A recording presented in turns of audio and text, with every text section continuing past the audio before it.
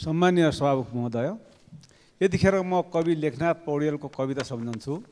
बडाले जो गर्यो काम हुन्छ त्यो सर्वसम्मत छैन शङ्करको नङ्गा मगन ते व्यसनिन्दित प्रसङ्ग भ्रष्टाचारकै हो।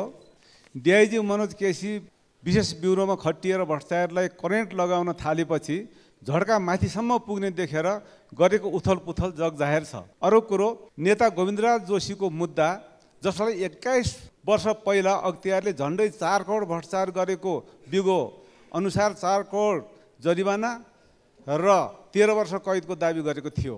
बाह्र वर्ष पहिला विशेष अदालतले दुई करोड सोह्र लाख जरिवाना र डेढ वर्ष कैद तोकेको थियो। अहिले सर्वोच्चले न्यून रकम जरिवाना र नौ महिना कैद तोकेको छ।